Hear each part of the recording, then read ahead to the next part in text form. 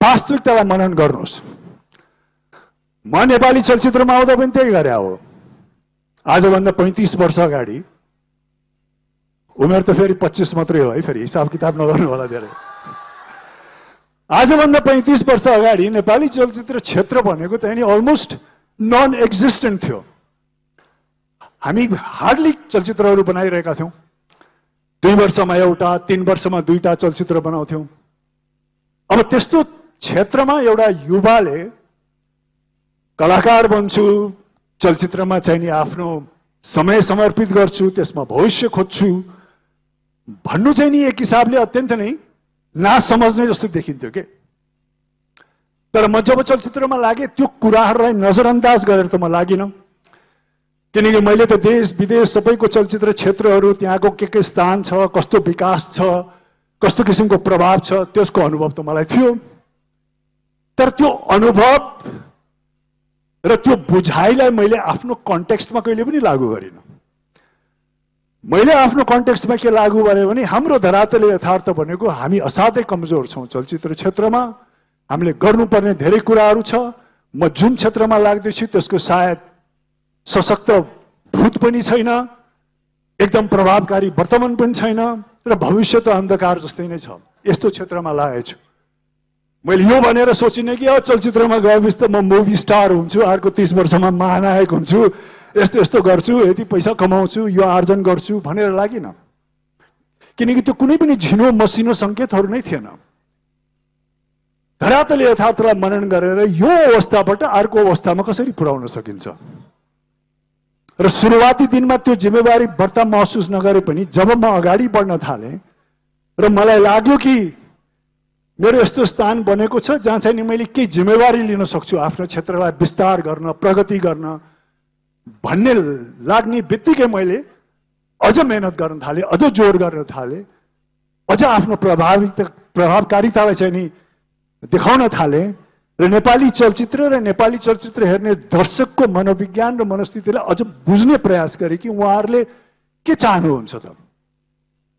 र प्राय नेपाली दर्शकहरूबाट मैले के पाएँ? मैले यो पाएँ कि नेपाली चलचित्रमा नेपाली दर्शकहरूले के चाहनुहुन्छ?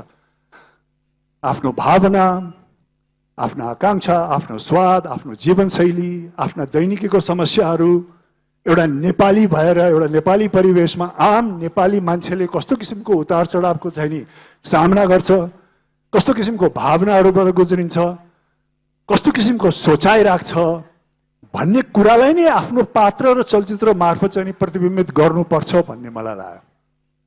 त्यसैले पनि यहाँहरूले धेरै मेरो चलचित्र हेर्नुभयो भने आम नेपाली जनसमुदायलाई प्रतिनिधि गर्ने चलचित्रहरू छ।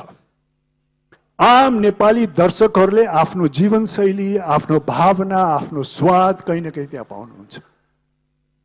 त्यसैले हामीले गर्ने पनि त्यही हो। मैले त यो आफ्नो क्षेत्रको कन्टेक्स्टमा गरेँ। अब तपाईँहरूले त सबैजना कलाकार त हुनुहुन्न। तपाईँहरू भविष्यमा जुन जुन क्षेत्रमा लाग्नुहुन्छ जुन जुन कन्टेक्स्ट छ तपाईँको त्यही कन्टेक्स्टमा तपाईँहरू बसेर सोच्नुहोस् न। अनटेस्टेड अनट्राइड फिल्डमा जाँदाखेरि कसरी गर्नुपर्छ? अनटेस्टेड अनट्राइड फिल्डमा जाँदाखेरि तपाईँको अगाडि सशक्त नमुना त कुनै हुँदैन। कुनै उदाहरणीय व्यक्तिको चाहिँ नि तपाईँले फुटस्टेप फलो गर्नको लागि इक्जाम्पल्सहरू त नहुनु पनि सक्छ। तर पनि यदि तपाईँमा चाहिँ तीव्र इच्छा छ तपाईँमा कन्फिडेन्स छ कि जुन किसिमको स्किल जुन किसिमको ट्यालेन्ट जुन किसिमको ज्ञान मसँग छ त्यसलाई प्रयोग गरेर चाहिँ नि नकोरिएको बाटो पनि मैले कोर्न सक्छु भन्ने यदि तपाईँहरूमा आत्मविश्वास छ भने तपाईँहरू अगाडि बढ्नुपर्छ खालि सजिलो बाटो नखोज्नुहोस् बनी बनाए बाटो मात्रै नखोज्नुहोस् होइन यार यसमा गयो भने त उफालानुले त्यति प्राप्त गर्यो त्यो भयो त्यहाँ पाइन्छ त्यसैमा लाग्नुपर्छ। या यसमा गयो भने त यो यो भइरहेछ।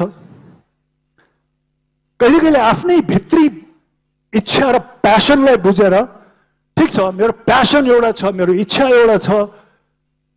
हाम्रो जस्तो राष्ट्रमा त्यसलाई टेस्टेड भएको छैन ट्राइड भएको छैन मेरो अगाडि रोल मोडल छैन।